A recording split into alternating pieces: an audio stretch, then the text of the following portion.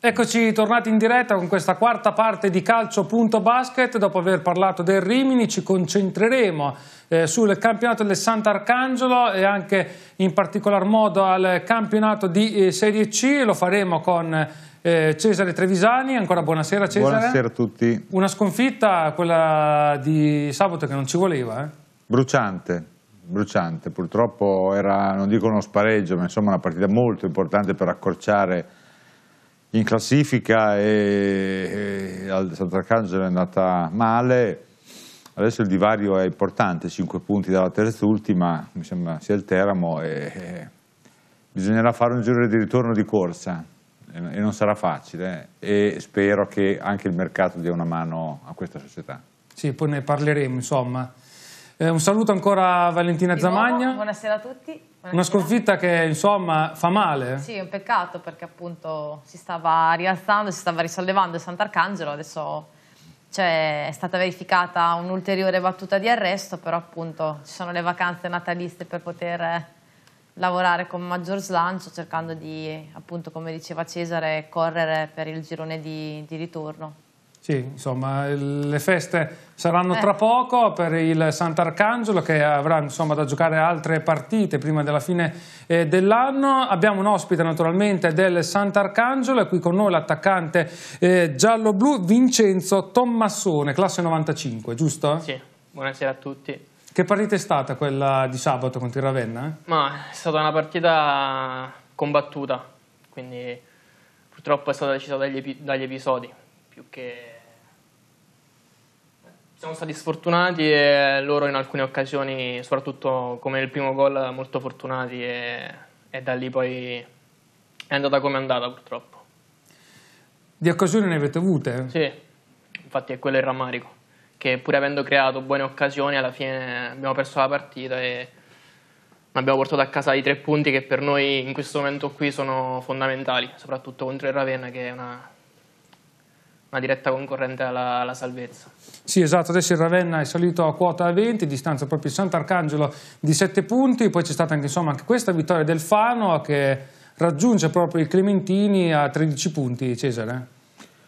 Sì, nella, nel, nel, piano campionato deve prevedere che il Fano arrivi dietro, quindi il Fano può arrivare a, a, pari, salire anche un punto avanti, ma il Fano bisogna mettere dietro, bisogna metterlo dietro, bisogna fare la corsa su una almeno di quelle che sono davanti, quindi non sarà, non sarà facile non sarà facile perché il tempo presto comincerà a stringere perché i punti da recuperare non sono pochi. Eh, sono curioso di chiedere a Tommasone qual è il, il, cambiamento più evidente che ha visto con il cambio di allenatore perché anche Sant'Arcangelo così come parlavamo prima del Rimini cambio di allenatore chiede tempo e chiede, eh, soprattutto se l'idea di calcio cambia radicalmente, era per capire se l'idea di calcio di Cavasini è molto diversa da quella di Angelini, senza dare un giudizio né all'uno sì. né all'altro ovviamente. Beh, come tutti i cambiamenti alla fine ci vuole un po' per assorbirli, però la squadra è una squadra umile, pronta al sacrificio e alla voglia di mettersi in gioco per, la, per raggiungere l'obiettivo e quindi anche se è fresco comunque il nuovo mister, siamo già nella, con la sua mentalità, quindi non, anche perché come diceva lei il tempo stringe, quindi uh, dobbiamo per forza di cose uh, adattarci il prima possibile a tutti i cambiamenti che verranno, che ci saranno. Che nozioni vi ha dato in questo poco tempo mister Cavasin? Vi ha dato qualche nozione nuova rispetto ad Angelini? Oppure ha proseguito ancora sul lavoro che ha fatto il mister precedentemente? Visto che il tempo era poco insomma, per intervenire. Sì, eh, diciamo che eh, inizialmente ha voluto diciamo, esprimerci le sue idee, le sue, eh, il suo modo di giocare, di, di approcciarsi a, alla partita e ha lavorato molto sulla, sulla testa e, di, di, noi giocatori. E, quindi speriamo bene. Secondo te Cesare questo è un passo indietro o possiamo considerarlo un episodio isolato, eh, questa sconfitta, vista quello che si è visto la partita precedente con la vittoria del Sant'Arcangelo contro il Mestre? Eh, secondo me è un passo indietro perché io speravo che la vittoria col Mestre desse anche quella carica e anche far girare un po' la ruota che sta girando a singhiozzo, qualche volta contraria a Sant'Arcangelo fin dall'inizio del campionato. Sant'Arcangelo non, non, possiamo dire che esprime un calcio e da una qualità tecnica da media-alta classifica, però sta pagando molto caramente ogni volta che fa un errore e sta pagando veramente sempre con troppa puntualità gli episodi. Eh, è vero che gli episodi te li vai un po' a cercare, io ho sentito Cavasine dopo partita, eh, secondo me poteva, eh, poteva, giustificare un po' di più la, diciamo, la, il risultato su, riferendosi ad episodi e cose di questo genere invece è stato abbastanza franco mm. nel, nel, dire che insomma va, che ci stava che, che, comunque quando accadono c'è una mancanza c'è una, anche lì c'è un errore anche lì c'è una, un qualcosa da, da correggere Cavasini è un uomo di carisma, è un uomo che sa farsi seguire, conosce il calcio, eh, anche se non, non, allenava più a livelli diciamo, alti in Italia da, da, un pochino di tempo, però, è, però insomma, credo che sia una persona che possa far bene. La società doveva essere brava a dargli qualche strumento in più. La società a guida Brolli non sarebbe stata in grado, secondo certo. me, di dargli un aiuto. Questa che si sta profilando alla guida croata speriamo che, che, possa farlo, anche perché si è assunta la responsabilità di cambiare allenatore e quindi dopo di questa la, la, la, l'azione seguente è quella di dargli qualche supporto tecnico. Appunto, come state vivendo questa situazione di questo cambio societario imminente? Insomma, è cosa fatta ormai, diciamolo? Sì, no, noi la viviamo in, in, modo, in modo, tranquillo. Non, senza apprensione, alla fine a noi interessa il lavoro sul campo e, e migliorarci dopo, giorno dopo giorno, poi queste sono cose che non sono di competenza di noi giocatori. Però insomma ha già dato un'impronta importante perché è arrivato, sì, insomma, sì, eh, ha messo che... mano al portafoglio come si dice, no? Sì, sì, è vero. Già con il fatto Un po' più che... di tranquillità ve l'ha data, eh? Sì, sì, sì, sotto quell'aspetto lì sì, anche il semplice fatto che è appena arrivato a ha cambiato allenatore, comunque è stato un passo importante, una, un segnale forte che ha dato a, tutta, tutto l'ambiente. Secondo te Cesare è il mister eh, adatto, visto insomma, i cambiamenti che si profilano anche a livello di giocatori, di rosa? Io non so che, che rapporto di fiducia e di conoscenza ci sia fra Cavasin e, e, e, la, e la, società. Forse l'anello di congiunzione è il DS Crespini, che è una persona che ha una grande esperienza di calcio, un, sicuramente ne conosce tanto e guarda io non credo che per allenare in Serie C servano dei maghi, eh, nel senso che so, ci sono tanti allenatori bravi e in grado, Cavasin è indiscutibilmente una persona che conosce il calcio, non conoscerà le, le tecniche di allenamento più sofisticate certo. che, che, sono no, allo studio dei, dei guru del, della preparazione, della tattica, della tecnica, magari eh, magari come, come, si chiama l'analista della partita, adesso ci sono questi tecnici che a, a supporto dell'allenatore gli dicono anche quanti passi a destra e a sinistra ha fatto un giocatore. Ne hanno tanti lui... assistenti ormai. Esatto, ecco, forse Cavasin è legato a una vecchia scuola, però è una scuola che il calcio lo conosce bene, soprattutto credo che, come diceva Tommassone, una squadra che ha difficoltà ha bisogno di, di, di essere guidata, di essere stimolata, di essere caricata e lui conosce quest'arte.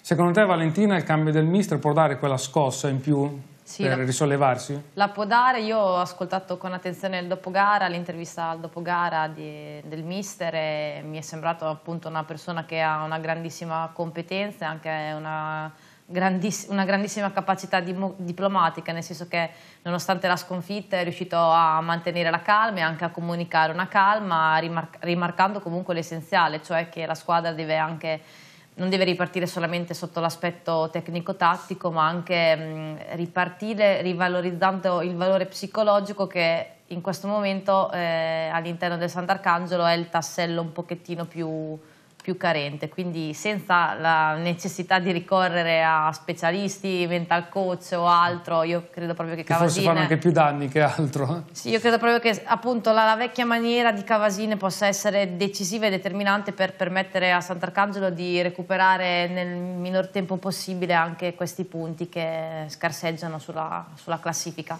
Però ci vogliono dei giocatori, eh? certo. basta il carisma di Cavasine, certo. ci vogliono dei giocatori perché sì, sennò sì, il Sant'Arcangelo sì. è in difficoltà secondo me.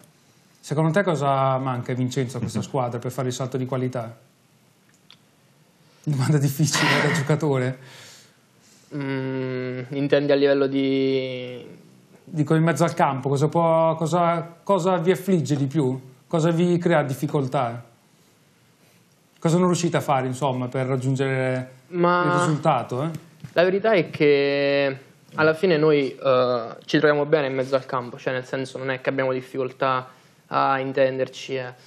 però uh, purtroppo paghiamo le, le disattenzioni magari, eh, queste cose qui, no? alla fine però a livello di gioco tra di noi ci intendiamo e riusciamo a creare anche buone occasioni durante le partite, quindi non, eh, forse magari mh, mm, come in tutte le squadre magari un po' di qualità uh, fa sempre comodo, però per il resto non, non vedo grosse lacune. Parliamo un po' di te invece, eh? ripercorrendo insomma la tua giovane eh, carriera, sei in classe 95, sì. hai avuto insomma un'esperienza importante a livello giovanile. Sì, sì, sì. Uh, nasco nella squadra del mio paese, uh, il Venafro, poi all'età di 13 anni vengo preso dalla Lazio, dove sono stato per tre anni fino agli allievi nazionali e, e poi da lì fatto, sono stato all'Inter al, e al Genoa fino al Uh, ero in comproprietà tra Inter e Genoa, poi finite le comproprietà una delle due doveva prendermi a, a titolo definitivo e, ed è stata l'Inter e poi da lì ho iniziato con uh, vari prestiti a Pagani, alla, alla, Regina e quest'anno qua al Sant'Arcangelo. Come, come ti stai trovando qui a Sant'Arcangelo? Bene, bene. Si lavora tranquillamente, insomma, sì, sì, sì, società una, insomma, che una tifoseria tranquilla sì, anche, sì, eh? sì. rispetto insomma a dove, dove... sì, dove ero alla a Reggio Calabria, che non è di, di quelle più tranquille, la differenza è netta. E... Hai notato anche la differenza tra il campionato, il girone C e il girone, il girone? C è molto molto è sentito, il sud il calcio è, è molto molto sentito e le, le piazze lo, lo, dimostrano, la domenica allo stadio è, c'è, c'è un'atmosfera molto infuocata diciamo. E comunque sì, qua al Sant'Arcangelo è una piazza che ti permette di lavorare nella, con la massima serenità. Forse anche per questo, insomma, la nuova società ha scelto Sant'Arcangelo, eh? perché è una piazza tranquilla. Sì, può essere. Può essere, però della nuova società dobbiamo ancora conoscere molte sì. cose, quindi aspettiamo e, e, vediamo. Hanno fatto vedere eh, tanto quello che hanno fatto, no? Beh. In Croazia, adesso dobbiamo vedere i fatti qui. Comunque aver fatto è già è già qualcosa, io non ho dubbi, nel senso che sono, nel mondo del calcio ci sono dei fantasmi certo. che appaiono e scompaiono, queste sono persone che esistono, che hanno fatto delle cose, che, che, fanno dell'impresa, che fanno sport, hanno dimostrato di, di, farlo nel loro paese io mi auguro per il bene che vogliamo tutti a Sant'Arcangelo che veramente possano costruire qualcosa di, di solido perché il panorama calcistico della nostra provincia è desolante. È molto caduto. Mm e quindi c'è bisogno di alzare un po' il livello della qualità dello spettacolo domenicale, da qualche parte nella provincia. Ecco. Valentina, come vedi questi capitali stranieri che arrivano anche nel calcio eh, locale? Eh? Io li guardo con curiosità, nel senso che mi approccio per la prima volta anche a notizie di questo genere. Certo che appunto io, forse lo volevo dire settimana scorsa, sono un po' legata molto alla mia terra campanilista, quindi un po' le infiltrazioni esterofile le, le guardo con, diciamo con attenzione, stiamo a vedere i fatti, anche perché sono quelli che alla fine parlano più di mille parole, però appunto se anche Cesare eh, sottolinea questo fatto che nella loro terra anche questa società croata ha dimostrato eh, azioni di valore, speriamo che possano trasferirle anche sul nostro territorio. Avete avuto modo di incontrare qualcuno della nuova società? Oppure sì, no? sì, sì, sì. Abbiamo avuto modo di, di, di incontrarli e abbiamo visto subito che sono persone che rispettano quello che dicono e comunque ci mettono la faccia. La cosa positiva, Cesare, è che sono persone che fanno calcio, no?